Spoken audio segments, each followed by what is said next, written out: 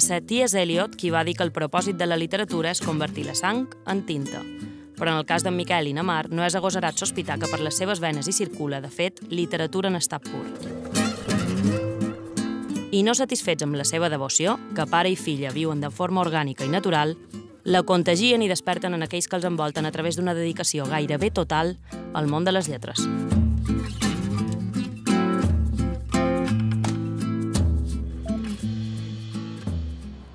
Escrius ara? Uh, no. M'he posat... I per què? M'he posat un règim d'escriptura i de lectura uh, perquè estic estudiant i sobretot si llegesc uh, la ment me fuig i uh, respecte a l'escriptura he decidit, o he decidit, no és una decisió, però he arribat a la conclusió que potser no, no cal escriure. Que podria, que podria simplement no escriure. Sé que podria... Eh, segurament podria viure sense escriure, en canvi això no me passa sense lectura. Mm. Però tu eh, encara escrius en els teus dietaris. Sí, de Això ho forma... tens encara. Sí, Perquè tu el que t'interessa és la literatura de dietaris, especialment de dones. és vera que he llegit molt de, molt de diaris o molt de dietaris els darrers anys, però perquè m'interessa molt la vida de les persones. Ja. De fet, jo, un, un dels projectes que vaig fer va ser precisament fer històries de vida, no? Una sèrie de persones de- Mm, d'aquí de, me'n record, Mallorca. record, sí, sí. Um, però perquè pens que moltes vegades cercam grans històries, grans personatges i me sembla cada vegada més que mm, totes les persones tenen la seva gran... són grans personatges, Sí, tenen la seva gran sí. història. Clar.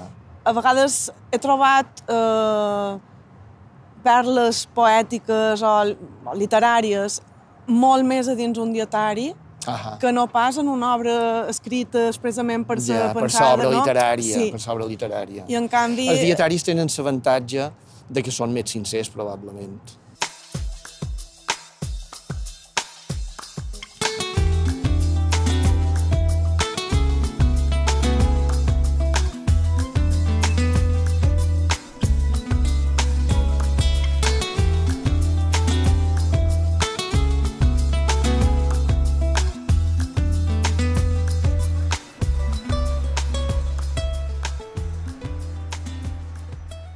Aquesta, aquest canvi de registre que has, que has fet els darrers anys, um, perquè, clar, tu has passat de- d'escriure de, bàsicament, bàsicament, vull dir, eh, per infants i joves, has fet molts altres treballs a, a nivell literari, però la teva carrera, el gruix, està basada Mm. i centrada Sí. en la literatura infantil i Sí, juvenil, sí. i els darrers anys has, has anat cap a la poesia o has anat cap a un tipus de, de llenguatge més... Eh, Cap a resumir, cap a intentar concentrar. Jo ara crec més, crec més amb un, amb un poema molt breu, a part, que sigui breu, que no amb una llarga narració. A part que me fa una peresa tremenda ara jo pensar que m'he de seure a inventar-me uns personatges i a fer una narració que a mi m'acosta escriure, que potser estaré dos anys per, per escriure 60 fulls, que després no saps si ho publicaràs o no, i que per descomptat se vendrà poc, dius, te fa peresa. Com si ja ho hagués contat tot en aquesta línia. tens la sensació d'haver De, jo tinc la contat sensació ja. de que ara puc aportar poca cosa i que tampoc he de demostrar res a ningú, amb la qual cosa jo ja he fet el que havia de fer. Si ve qualque mm, test en el cervell i vol manifestar-se a través de l'escriptura, ja ho faré, si és que s'ha de fer, però no me sent eh, ni frustrat, no. ni me sempre... En canvi, ara faig aquarel·les, com saps, no? Me, mm, és com si exploràs un altre camp Sí. d'expressió, no? Però escriure me fa peresa, me fa peresa, i pens que, a part, poca cosa més puc aportar, a no ser veure aquests dos poemaris darrers que jo estic molt satisfet d'haver fet. De fet, en el darrer poemari, si te'n recordes, vaig escriure un d'aquests textos, Sí. són com a textos en prosa Sí, poètica, sí. que més o menys deia, no sé si la literatura m'ha deixat a mi o si jo he deixat la literatura, i, i, i feia, posava un punt, un punt i seguit, i deia, encara no he vessat cap llàgrima. Com si dir, me pensava que podria estar eh, desesperat perquè ara no puc escriure. Altres vegades he tingut aquesta sensació, però ara no.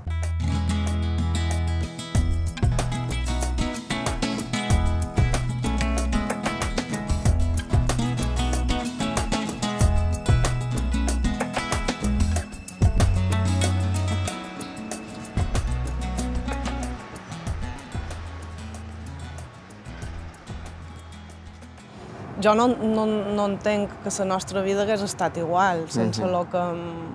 Seria distinta. Seria no sabem distinta. si seria millor no, o no, no dic que fos No, no, millor, seria eh? distinta, sense cap Perquè a vegades me qüestiono si a vegades um, reflexionar massa o tenir massa inquietuds uh, fa que un s'angoixi més. Uh, Sí, perquè hi ha preguntes que no hi ha ha coses respostes, no tenen clar, resposta i, i a clar. vegades no hi ha ni, ni solucions. Vull dir, el, el que és és i, i ja està, no? Sí. Però jo volia que m'explicassis un poc com suportes el paradís.